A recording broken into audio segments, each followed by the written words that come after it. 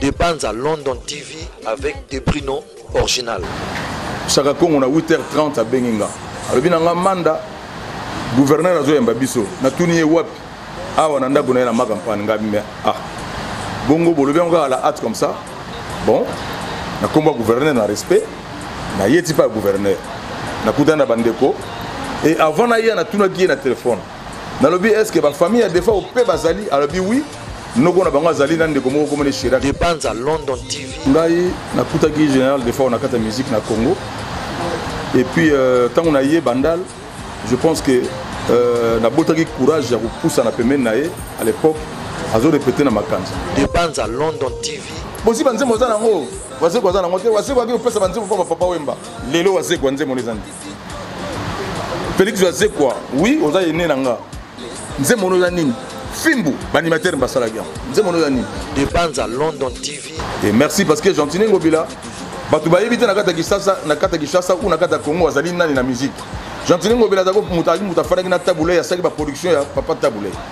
gentine ngobila azali moto oyo azalaki producteur ya carlito lassa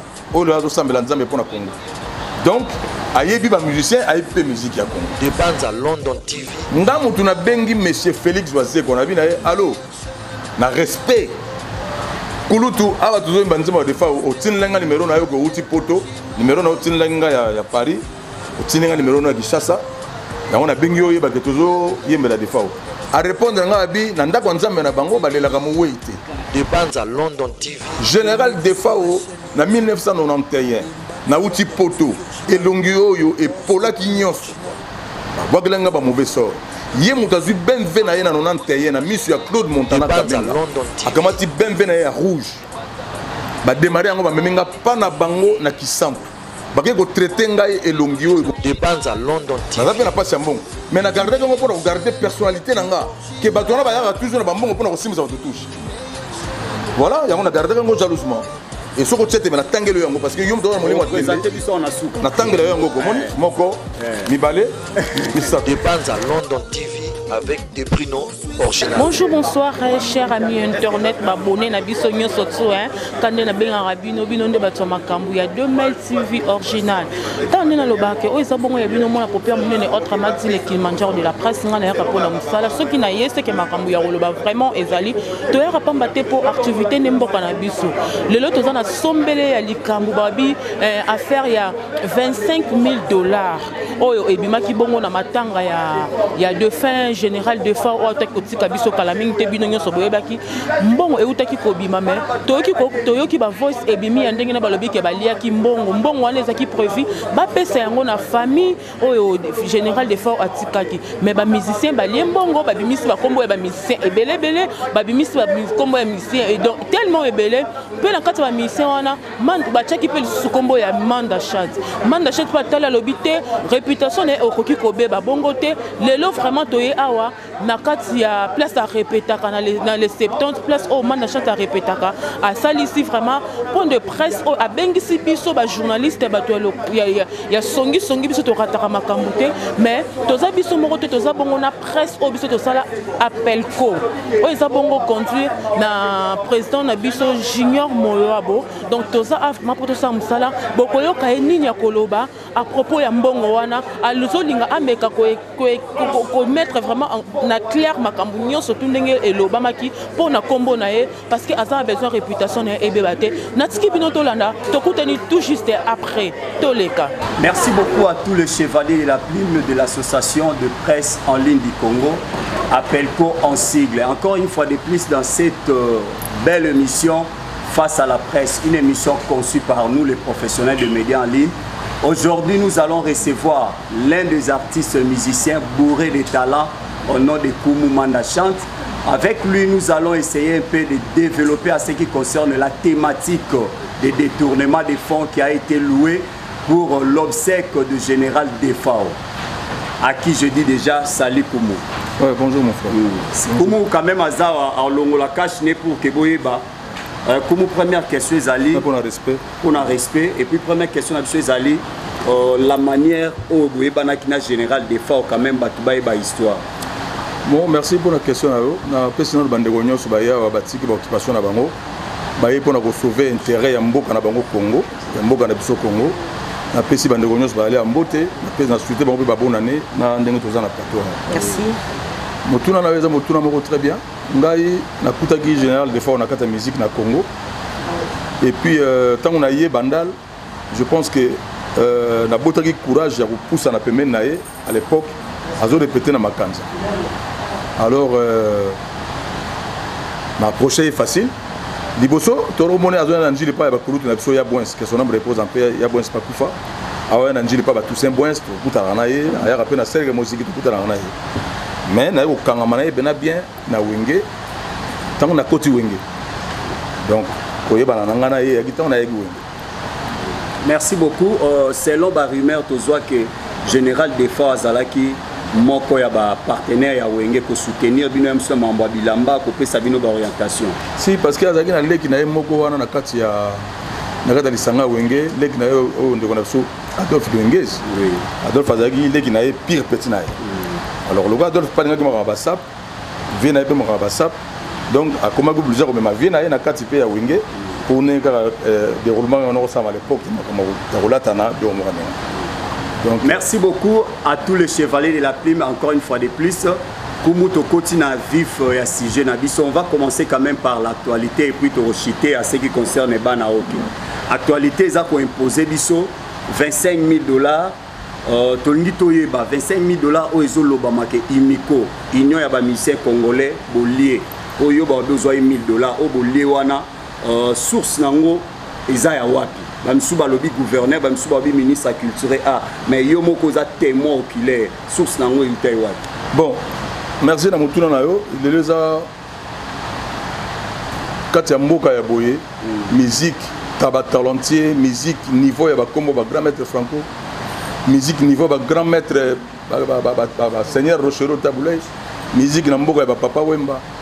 musique ya mboka oyo na biso mon frère eza musique moko ematisa biso ematisa mboka na niveau makasi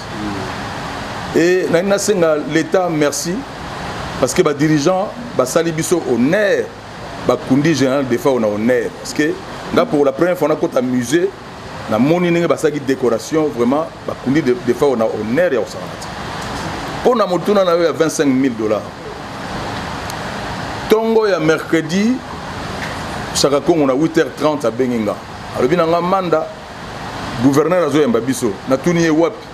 awa na ndako na ye na makampane nga ah bongo bolobi yango kaka la hate comme ça bon na nkombo ya gouverneur na respect naye ti mpa ya gouverneur nakutani na bandeko e avant naya natunaki ye na telefone nalobi est ce que bafamille ya defa ope bazali alobi wi noko na bango azali na ndeko moko komone chirac ngabi wi nayebi chirac parce que nazalaka na chirac na grand na, na général defao mikolo nyonso mpona kofana na bango nazalaki déjà content naya na e naza na lisolo ya kati ya imiko te nazalaki membre naza membre ya imiko te parce que imiko ezalaki association moko esalamaki na kati ya mboka oyo mobutu moto akreaka yango mais ngai naza membre ya imiko na mboka oyo lelo te parce que imiko ezalaka su te bon nakokoma hmm. tokoti pa ya gouverneur namoni famille ya defao namoni mpe bamusicien namoni kulutu na ngai ser mbilabel namoni kulutu na ngai redi amisi namoni kulutu mosusu jado de cambodge président dios alemba na shaka congo etofandi adolphe abengi ngai na telefone nayebisi ngai boza bagouv oso komi ya ngai abe nasi nakomi awa adolphe mpe alandi biso aye tosololi na gouverneur bato bazalaki na parole ya koloba na gouverneur na miso assistant na ye blaise biyeye bato bazalaki na parole balobi na gouverneur sete oyo redi ya misi abetaki ezalaki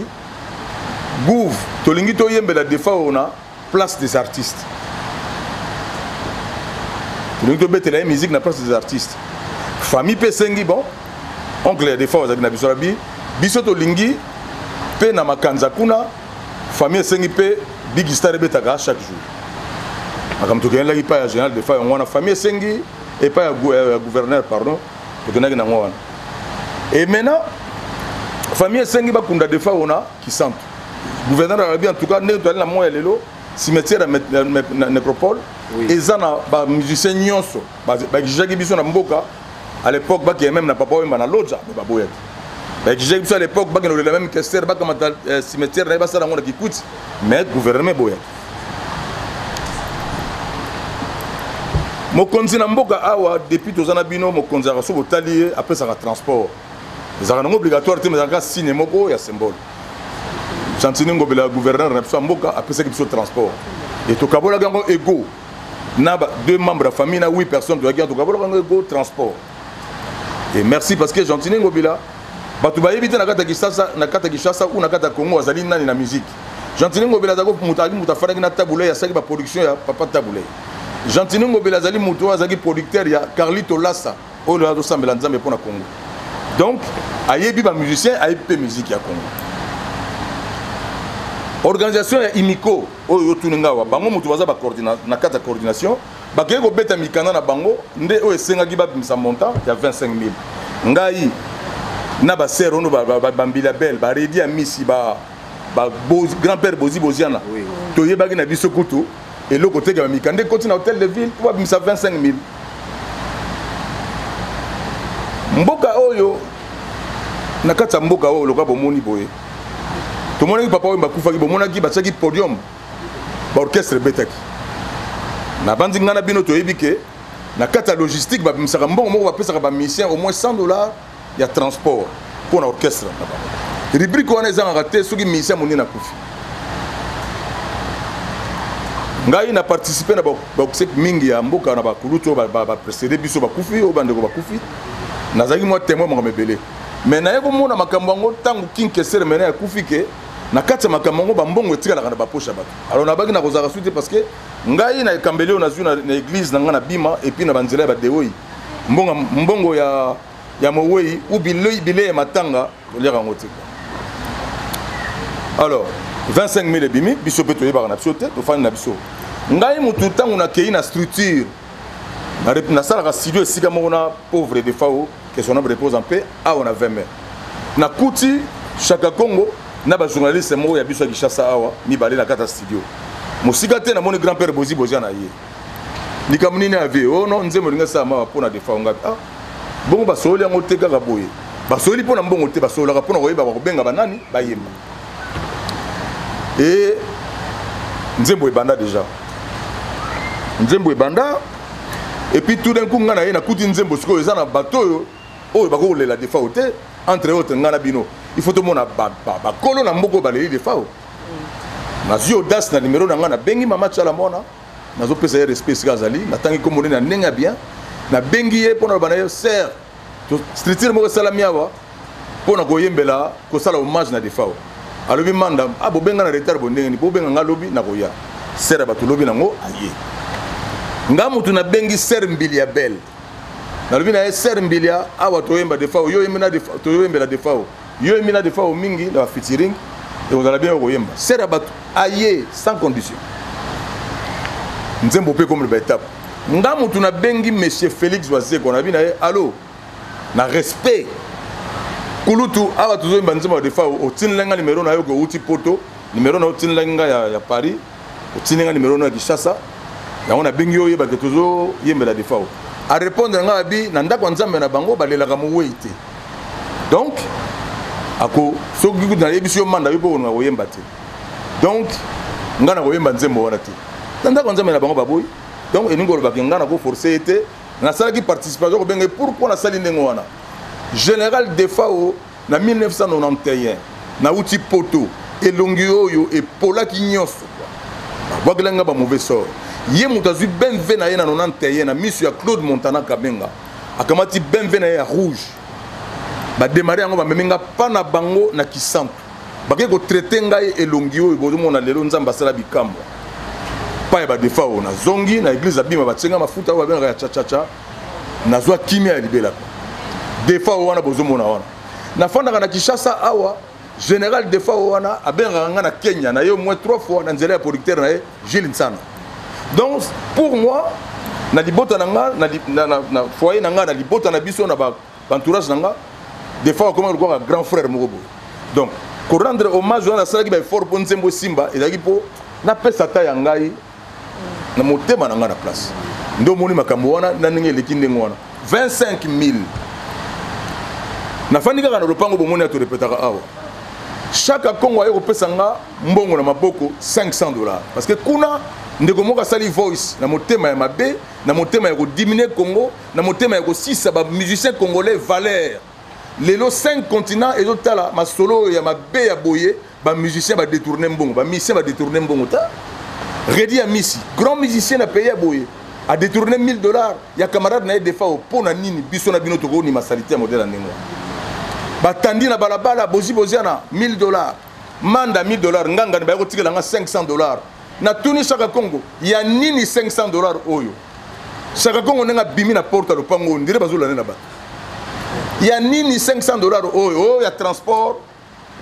gouverneur moto apesi ya transport ya nini yango naboye kolia yango abi nakosimba yango naa nango alors pourquoi sikoyo mboka ya boye ndeko wana mosusu wana nayebi te soki motuna yango eyali mm, adrisha tipotipo mm. ake kosala voice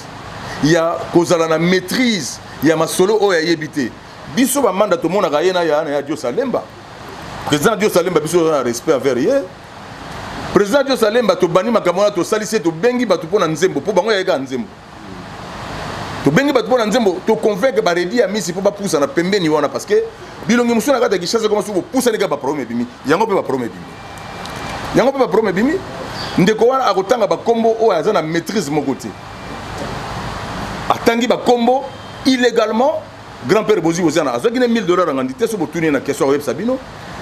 redi ya misi il avoue ke azwaki 1000 dollars 1000 dollars azwaki bapesaki mpo na transport orchestre na ye ya kobeta na mboka oyo bandeko na bandeli bino esalamaka ndenge wana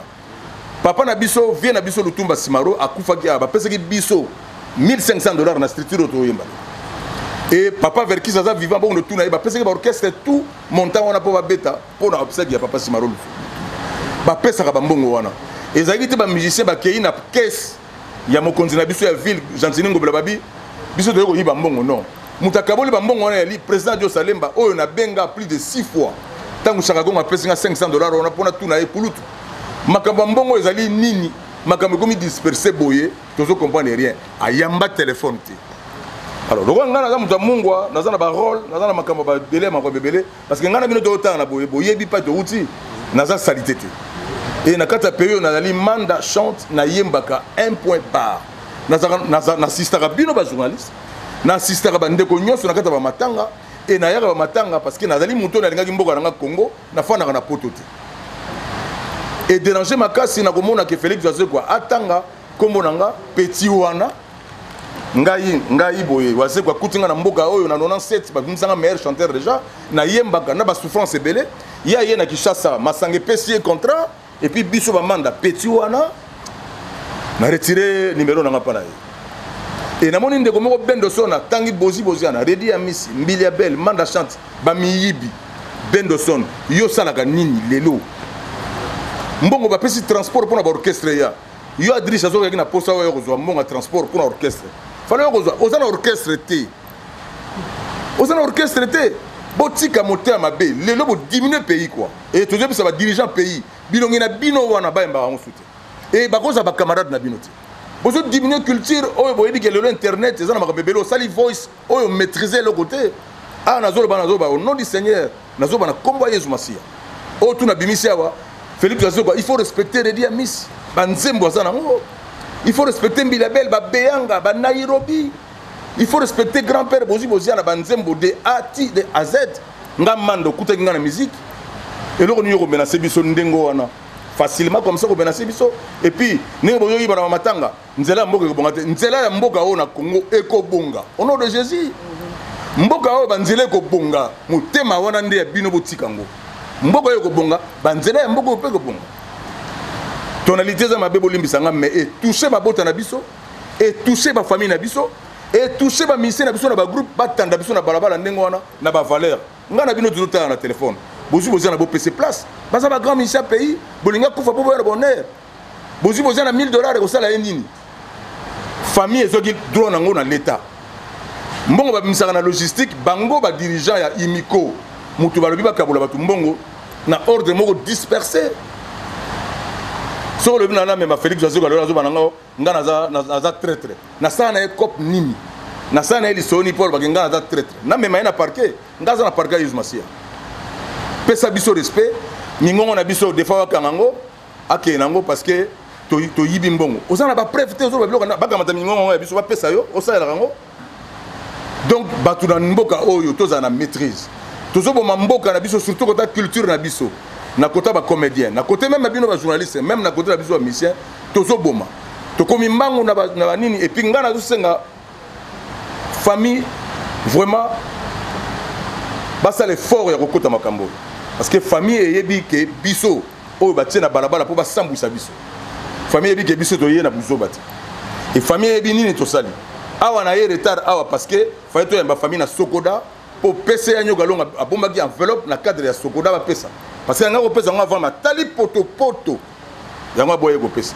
tokiwuti kuna na sokoda famille uti ozwa su mwa eloko ya moke na droit ya nkombo ya général defao donc général defao mpe azali molimo no ezala na kimia mboka batonore ye musicien nyonso ngai na nkombo ya miziki nasengi bamusicien merci bamusicien nyonso baya ngai na bino na kati ya mboka oyo tomoni bamatanga ebele eleki omona oyo mosu akoti voyage aye te oyo mosu afandi na ndako aye te nga na bino tozotala boye nazangaki matanga ya king keser mene parce que fana nazala na vie na nga papa wemba azalaki na douleur ya kosakana te tofanda na ye baolela king kester na paye du peuple donc azolela de bato ngai na bino bandeko oyo bokomi baegri nayebi succès eza eloko moko terrible ngai yango nalingaki succès te succès ezalaka soki ebandi pa mokolo esilaka kanda elobisaka bato makambo moko epuis okoyeba te ke succès se esili kua yo komona kaka naza na succès mais se esili kalaka kua bofingi bato basela lokola bambonga kala bofingi bato totalaka bino kaka la biso ozo travailler kaka na kati ya pays epuis na discipline botika komema mboka oyo na bacontinent nyonso ke mboka oyo mboka oyo mboka oyo mboka kitoko lokola mboka oyo eza te mboka eleki mboka oyo eza te yango biso bamanda tofanda na mboka oyo epuis très bien quoi mitema na biso ezala malamu tozala juste moto ya mayele mpena moto ya mayele biso toyeba didie momengi baevariste boshab bato ya mayele bayebaka mpesa koplace bamo grand frère na yo bozi bozia na yo wazekwa okoloba na ye mpe ah vie makambo nini boye rien okoki kotanda ye na banzembo ebele aza nango na makambo ebele aza nango na kati ya pays oyo ça est dérange liloba oyo nakoki koloba su ya bien ya malamu ya koyebisa bino bacongolais oyo bozotala biso oyo bozotala ngai frère na bino leki na bino yaya na bino chanteur na bino ya mboka edérange biso soki bomoni toye kosala naye kosala eloko oyo ezali droit de réponse te ezali kaka ke mabota na biso etalobi o oh, mwana azotuna boyibi me nzoka boyibi na bino te esika mbongo ebimi tozala te bato ya coordination wana ya imiko baye kokabola biso baye kopesa ngai mbongo 500 oyo natuna asa abimi tobengana batelefone bayambaka su te voilà donc je pense que contribution na ngai makasi na famille chirac oyebi nabandaki démarche ya sokoda bomona pca nyoka longo e lelo noko na bino azalaki na kati ya bareunion tosali na gouve boyebi tosengi bino na direction hôtel de ville gentini ngobila excellence kulutu tosengi bino merci matanga eleki très bien modérateur ayaki mwa kobungabunga aye kopresente yo epai aye kopresente directeur ministre na biso ya culture epai mais sinon na bonzambe defao azalaki na motema malamu musicien nyonso ya congo aleli defao eza, eza déjà témoignage moko oyo esali e, très bien na baye oyo bozobunga nzela bobongisa makambo na bino sala nzembo na yo salaka nzembo zala na orchestre na yo biso ozalaka awa zala na orchestre na yo bakobengaka mpe yo ya kozwa transport oya kobeta orchestre eza te bapesi yo eloko moko kutu ozoluka yango fraudement po oza na droit te okomi kotanga bakombo bato facile illegalement monsieur parke na biso eza ya yezwa tomomo kuna te outi prison mon frère adrisha outi prison kulutu na biso josala kutu akangisaki yo na makambo mabe kolakisaka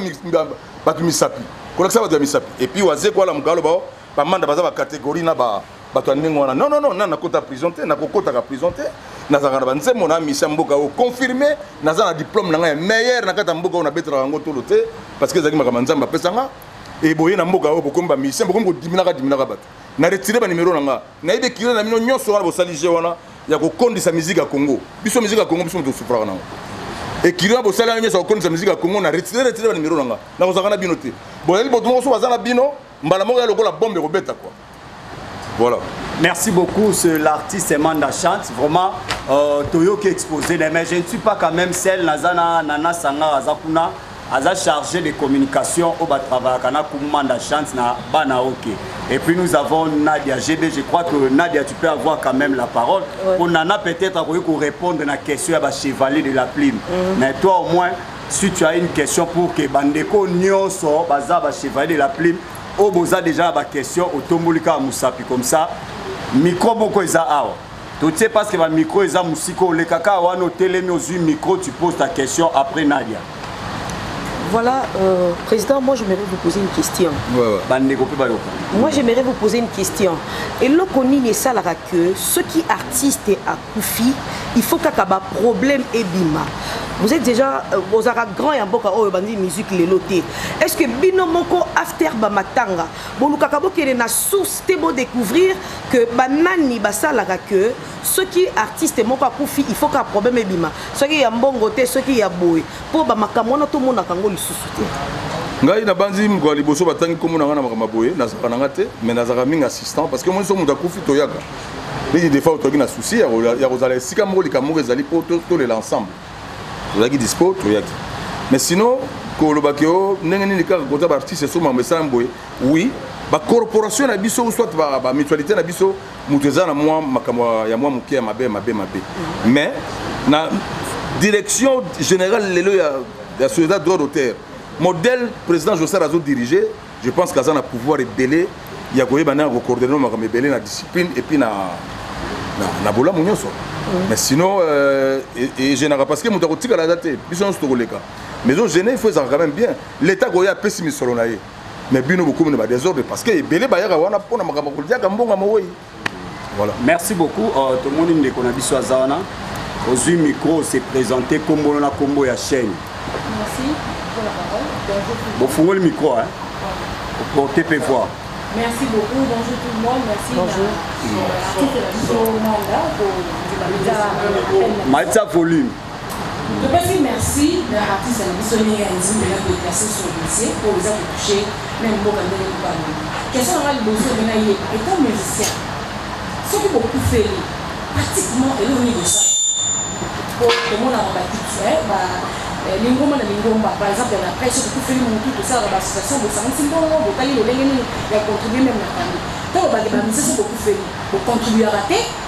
Bokipaka famille te ezalaka kaka bobuakelaka mokumba na l'etat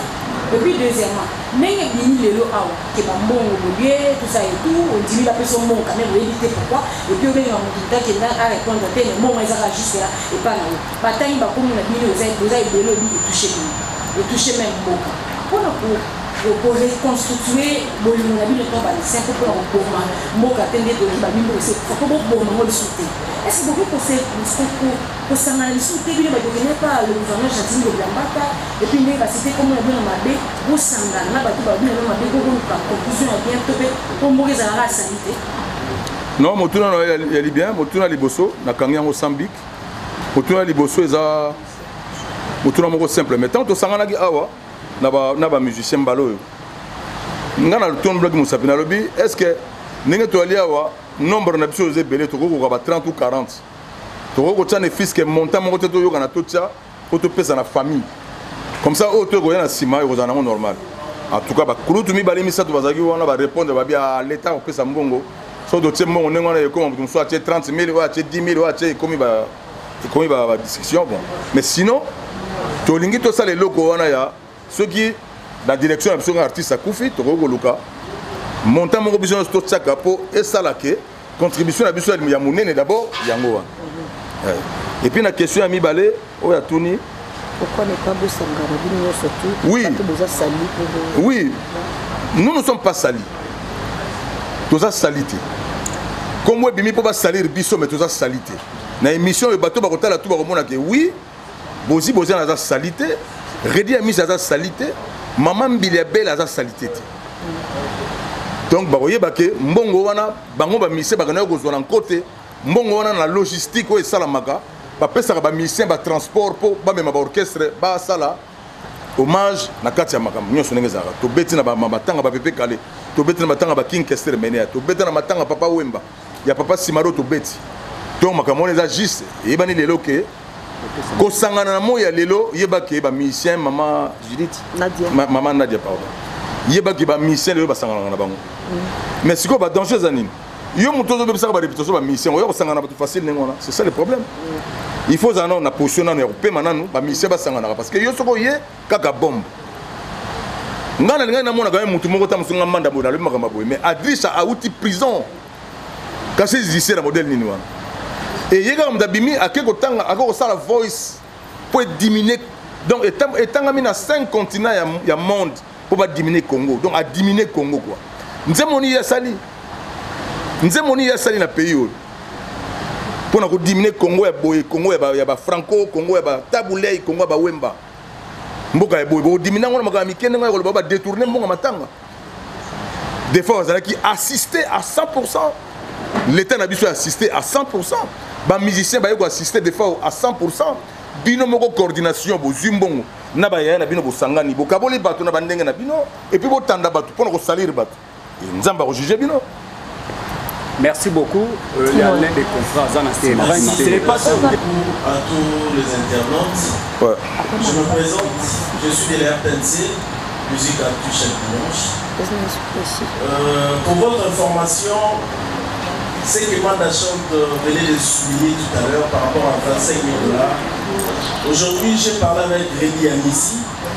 a martele yango alobi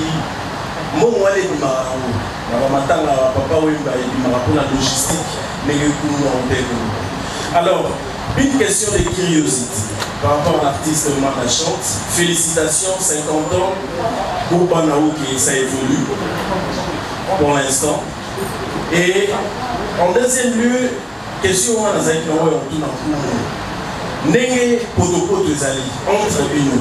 baartiste, est ce que bino moko bokozwa charge te ya baobsèque soki ndeko na bino akufi? Bino moko baartiste bokoki kosan charge te na baobsèque ya bamusicien oyo peut-être bakotika biso oyo peut-être bamusicien oyo bakokufa oyo tokoloba par rapport ya ya lisolo oyo toza nango par rapport ya ya defawa alors en deuxième lieu nalingaki lisusu na marteli nalingaki lisusu na marteli par rapport ya groupe euh, banaoke oyo na insista plusieurs fois na studio mpona acoustique où en sommes-nous par rapport ya sortie ya acoustique wana Merci beaucoup. Merci beaucoup. Comment répondre Bon, oyo ya bandeko batika mwa makele kuna. Oyo ya lobaki oyo ye alobaki ya liboso oyo atuni ya liboso wana je pense que nauta oloba yango deja wake nauta oloba yango wake mbala oyo tokosalaka effort ya kotiaka mwa droit moko boye biso balobi par exemple 500 ou 200 ou 300 ou 100 moto nyonso aye atie ekocontribue eza makasi mais omoni lelo toza na témoignage lokola ya johnny alide par exemple johnny alide auto kufa na france pourquoi baboyi famille na ye na libota nayo bafanatiki nde basala yango ba leta ezwi mbala moko leta apesaka toujours honneur tomona tomoni biso moko leta ndenge apesaka toujours retour na ye na honneur soki bolobi ke oh non pourquoi bino moko bokundaka te tokosi biso toza na droit te parce que biso mpe toza dirige leta mpe dirigeaka biso donc leta ntango asalaka honneur na ye biso mpe tosaka participation preuve toyaka mpona kobeta toyaka mpona kolela ensemble c'est comme ça quoi merci euh, niclet pourquoi bapratique ya kopesa babino transport mpona kobeta na observe ya confran na bino donc gouvernement soki epesi bino te bobeta te question nayo ya très bien mais sala ngele na baquestion parce que sikoyo question mosusu otuni yango basusu bafandi batali oyo babi bon otuni yango pourquoi pourquoi parce que na orépondre ndenge wana ntango basalaka makambo ya organisation ya matanga wana leta moto atiaka yango pembeni ke baartiste bakoya ngai nakoki koyanga moko naye kolela matanga wi mais bamise na ngai so baye kolela peut-être moi 100 ou 200 esalaka bien mpo na transport babengaka yango logistique moko eza juste oyo esalamaka mais koloba ke euh, biso moko tozangaka volonté déjà maman question ya ndenge wana mama yango aza wapi niclete biso yebaki volonté wana vraiment ezalaka vraiment hmm. mais l'état aza na place oyo adirigeaka biso amoni mpasi biso bino toyei kolela ndeko na biso epuis atala yebi bon topesa bino quelque chose ya transport ezalaka mpe eh, motivation ezalaka mpe déjà calculé mais bandeko basali mabe bango moko basali na désordre epesi mabe bakonote bakombo ya bato mosusu mpo basaliri kaka bato na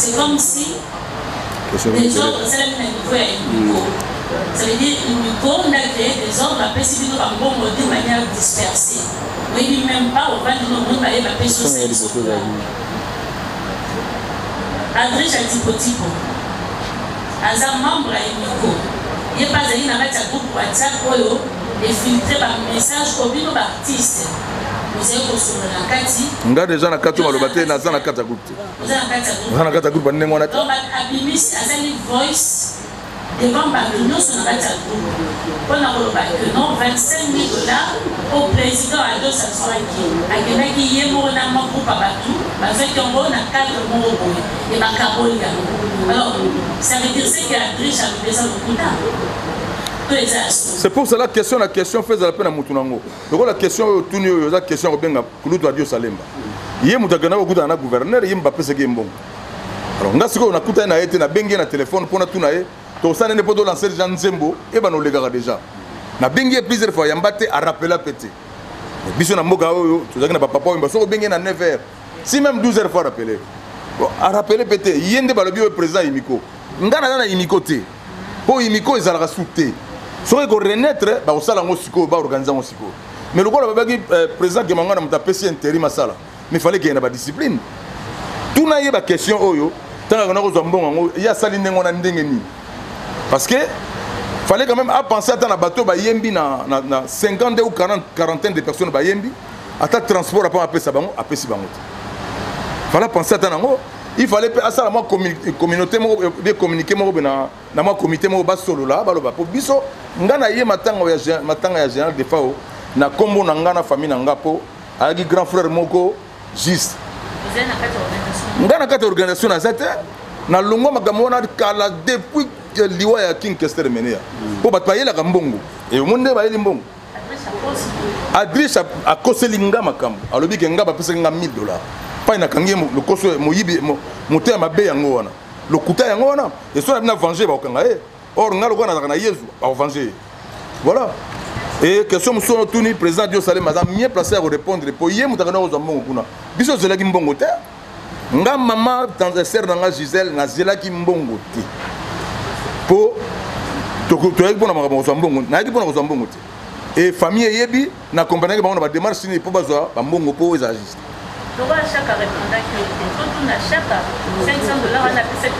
ya bi na ngai ya transport ya transport nini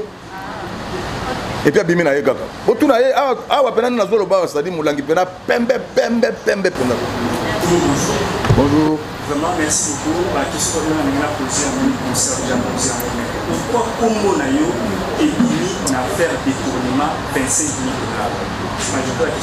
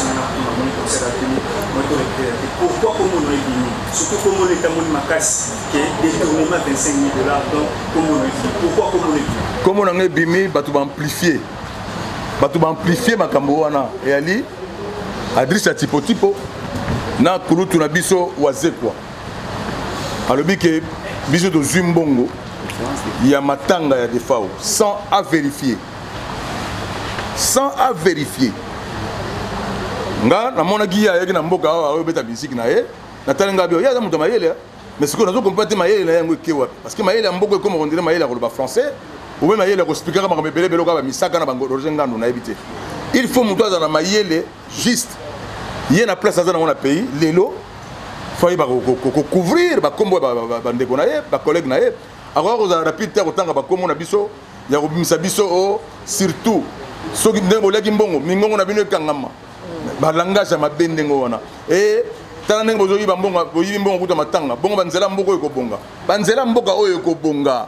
ekobonga bino bozalaka na poto biso ozalaka awa banzela na biso ya congo ekobonga kwa ekobonga merci beaucoup conseil bonjour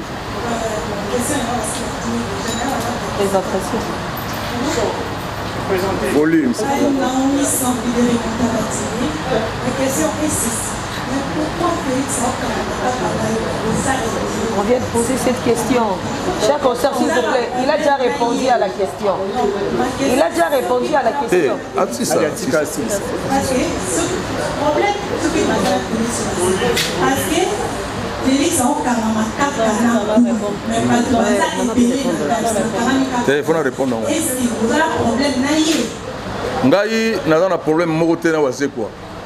wazekwa eloko esali ngai mabe na batenance na ye ya koloba bapeti wana epi akosangisa ngai na groupe ya bato baza bato balakisaka mikolo na mboko bamisapi nasepelaki deja te epi ngai naza peti na ye wana te azoloba ndenge wana baresponsabilité naza yango na pays oyo ye aza nango te mpasi ngai namoni ya miziki na pays oyo ye amoni yango te kua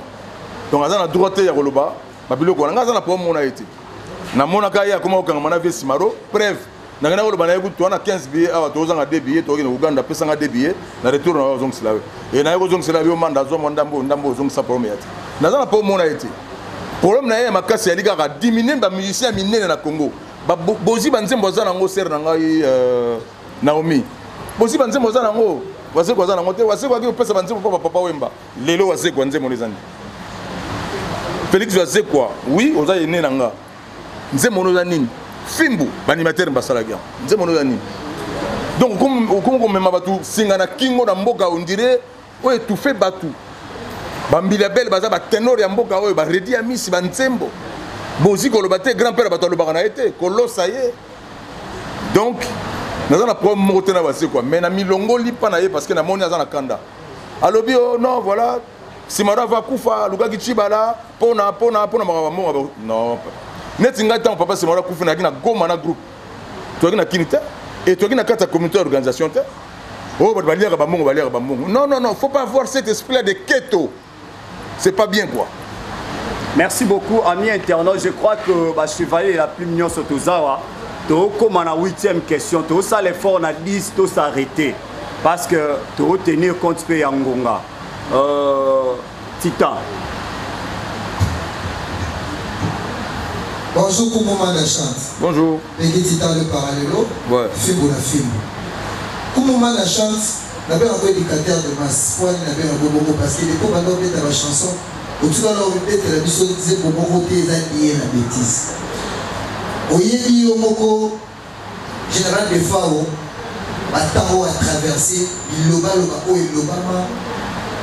mais lelo moweyi akeyi yo na ba kulutu na yo na ba ndeko na yo misusu likolo ya mbongo bolingi bobomana mais moweyi akeyi etant que un philosophe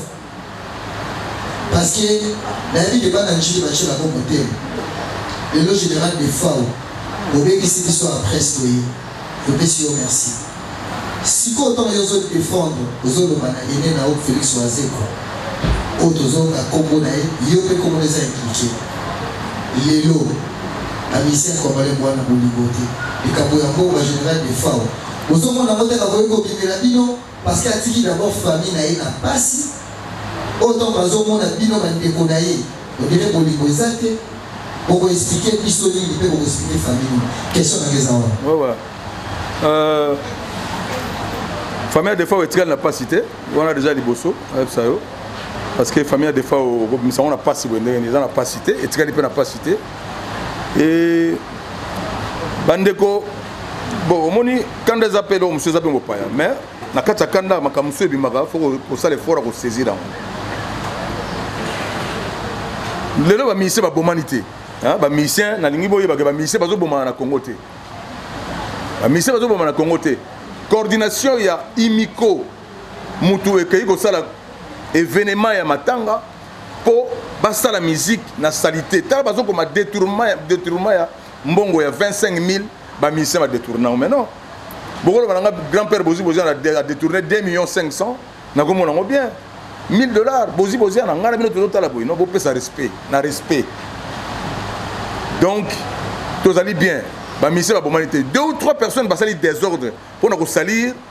nkombo bamisien na musique ya congo deux ou trois personnes bamisien tout toza bien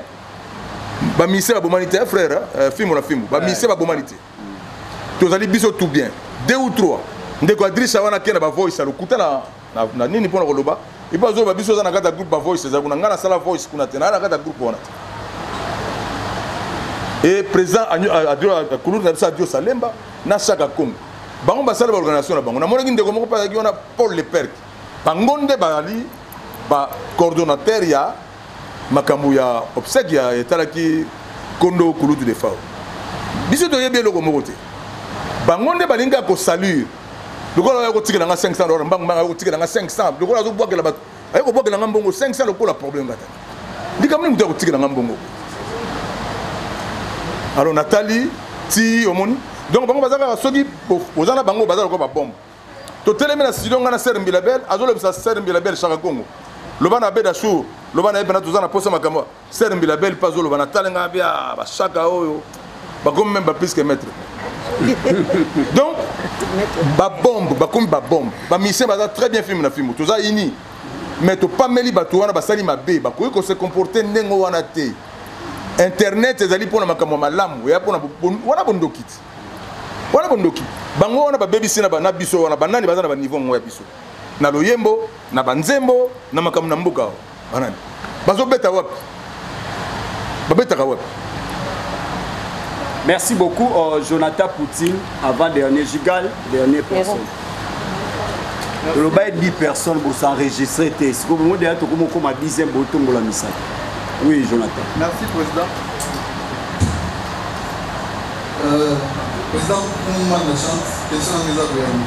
On s'est présenté comme moi chaîne Oyeba.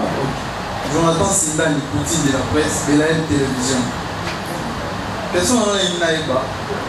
mais bandelo yebisi biso euh, omonaki chaque congo ayaki otikelo 500 dollars alobi eza ya transport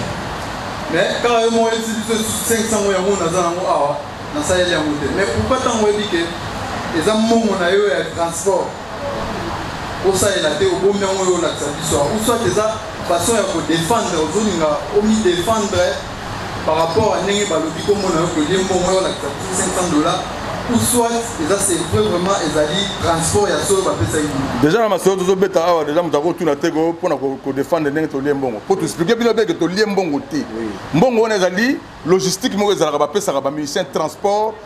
mpo na boxek tozala juste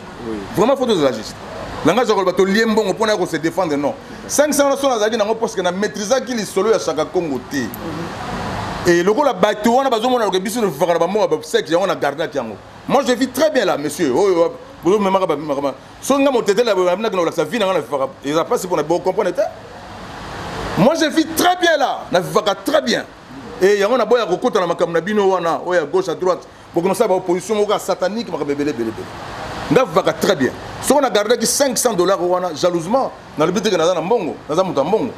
naza mpe na mpasi ya mbongo mais na gardaki yango mpo na kogarde personnalité na nga ke bato wana bayaka toujours na bambongo mpo na kosimbisa bato touche voilà yango na gardaki yango jalousement et soki otie tembe natangeli yo yango parce que yo moto wana molimo natangela yo yango komoni eh. moko eh. mibale misato minai voilà merci beaucoup euh, jonathan nani gigal et puis dimitri na sainte ya boclôture de apose bon dime oclôture kasi Bonjour, tout le monde Bonjour. Bonjour.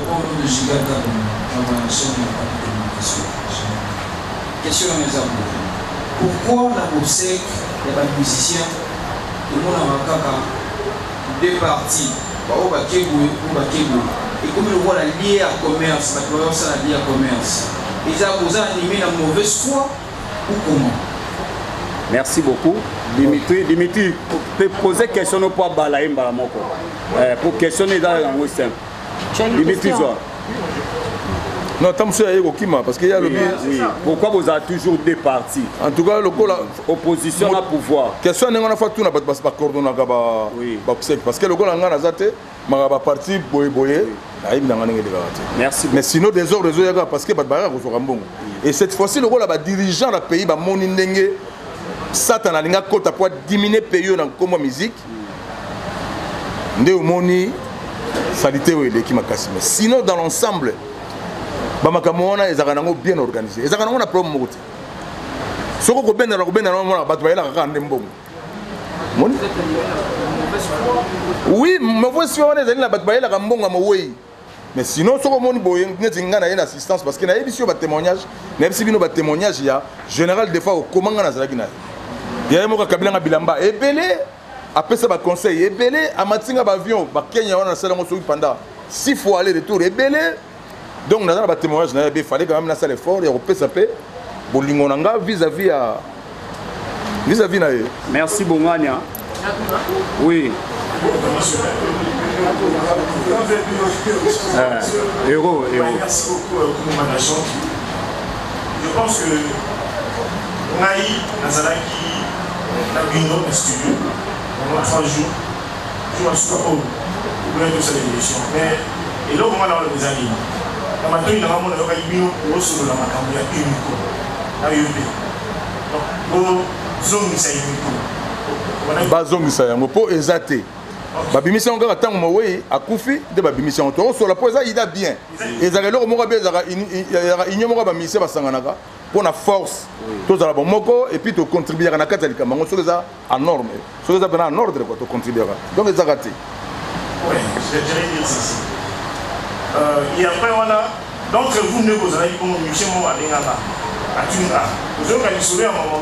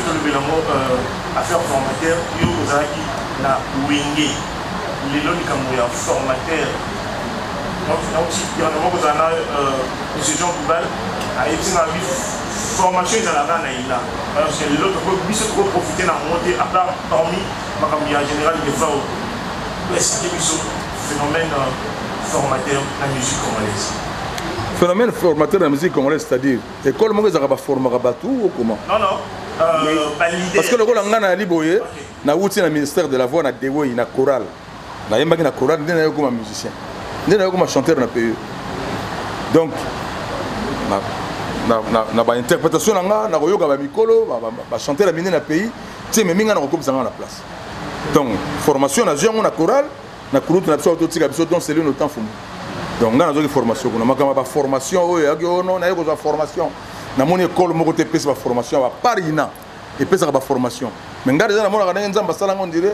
donc nayina ngo nayebi te soki nakoti kuna nakopanza parce que donc nzambe apesa ngai nyonso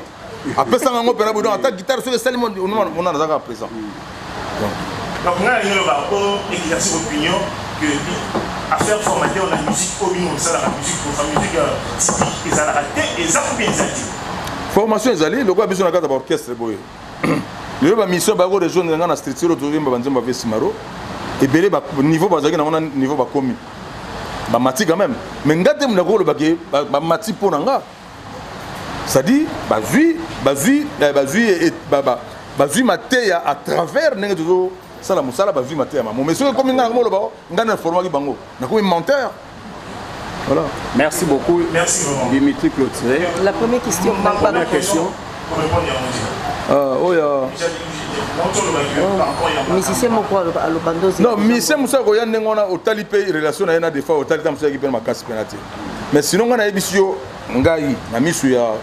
jésus christ ngai nayaki nayaka mpo na mbongo te nayeki mpe makambo ya général defao mpo na mbongo te mais nayebi soki oke moto wana alobi no azalaki mpe na kati ya coordination azotuna mbongo ebele bayelaka mbongo parce que nayebisaki bandeko mo mikolo eleki ngai manda nayembaka miziki mais natekaka mpe mbwa bato baseka moye te or na kati ya kishasa awa moto na moto azalaka na mwa 2 3 activité mpo mpona kosurvivre ko ozomona alors bato mosusu bazali wana asalaka cope moko te yango moi ezopesa bango kanda bakomi na kanda ya kolobaka lobaka makambo ebele ebele il faut mwa cope moko ezalaka ata pa ya mwasi na yo ata pa bacamarade na yo cope moko mpe ezalaka so cope eza te okosilekaka kaka yango moni ayotuna yo boni soki kuna ebimi te parce que aza sans cope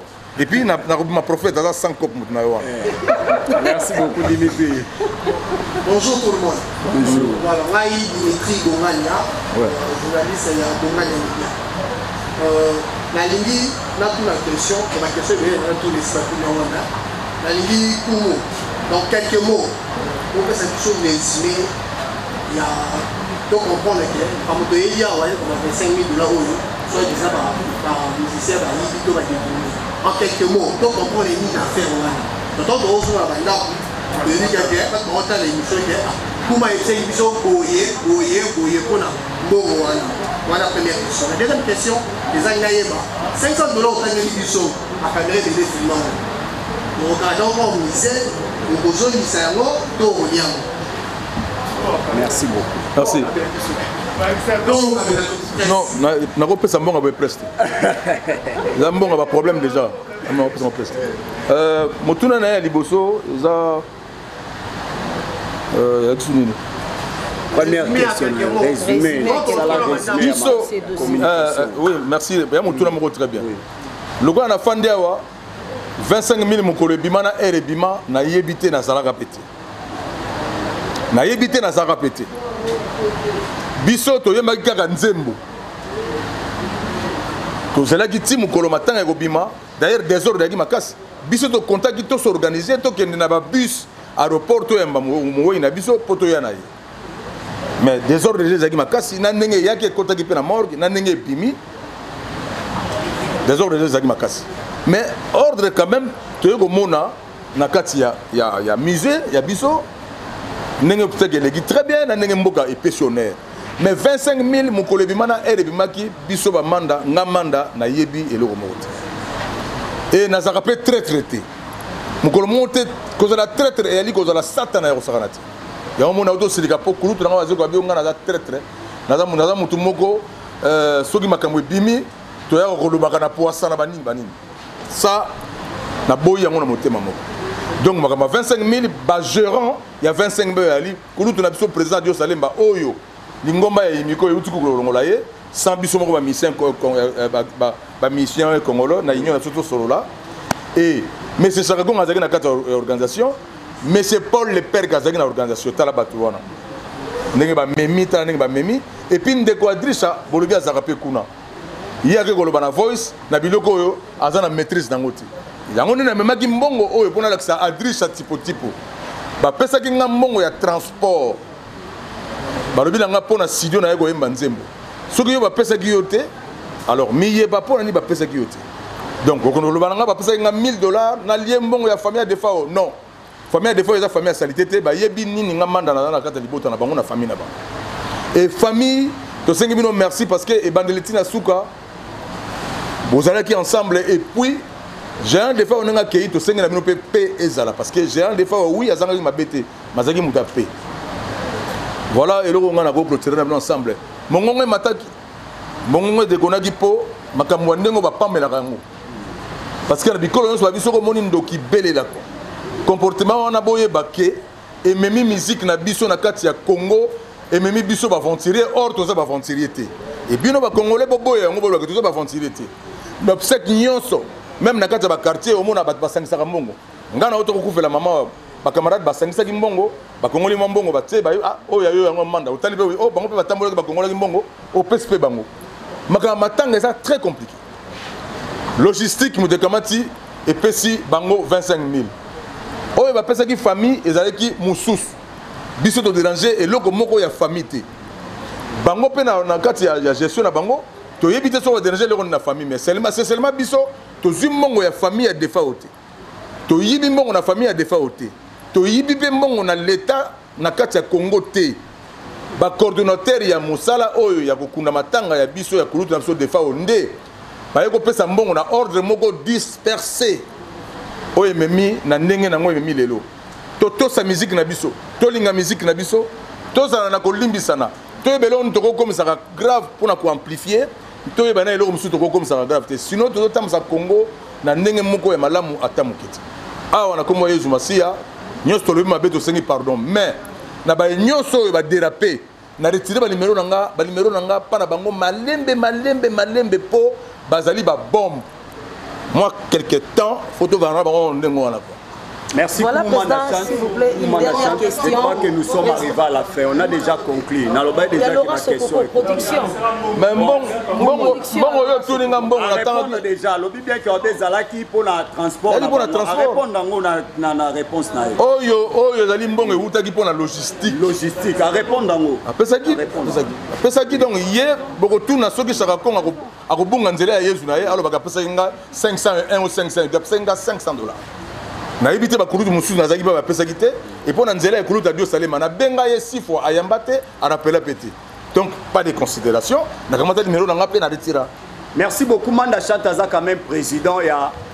bana ok orchestre cher ya fe lutumba simaro masiya euh, production ya ya laurent sokoko oyo tozoyoka eza ndenge nini oui eza na projet mabongisami ebalaka mingi na maboko ya nzambe eza na projet euh, laurent sokoko aza grand mécène oyo asalisaka bamusicien na mboka oyo plus de 80 pourcent bamusicien la tokowanga nango te e aza tata ya bana aza grand frère euh, aza na makambo na ye ebele ya malamu asalaka eza kaka musique te mais na komo musique abaki mbala oyo biso moto tozokende kuna ya babongisama nzambe tokokende na kelke journaliste meme tokokende tozokende c'est pour bientôt soki février esili mars ekosila te na babongisama nzambe mais projet bapesaka na maboko ya yezu à part ça orchestre oza ko s'organiser biso oza très très bien tozoki retard mpona makambo ya matanga oyo ya général defao moye tobimisa acoustique tosalaki banzembo ya vesimaro papa wemba kinkesere meneya papi tex oui. na ngai moko manda nasalaki trois chanson ibrahim socrate na nzembo moko eza na liberté na bandeli yango mpo na nkombo ya grand mayasi gilles vasimba nde tosali yango mpo epesa kaka mais sinon dans l'ensemble diske ya, ya kondo simaro tobaki tokosala six chanson na ye euh, ya ye moko esala makambo nango epuis si chanson ya biso ya groupe oyo tozobeka ma fin février obe fin mars mais sinon acoustique ezoki mwa temps tosalaki même sacrifice oyebi ke natyaka tentire na motu nakataki kovo kaka mpo na koloba ke ah grand frère akufi il faut nabimisa mpe na motema ya koloba ke tokiti drapeau donc euh, bomoko bomoko bomoko mboka toyeba nini akomema makambo soki ozali moto ya mayele moto ya mayele azalaka ya classe kaka te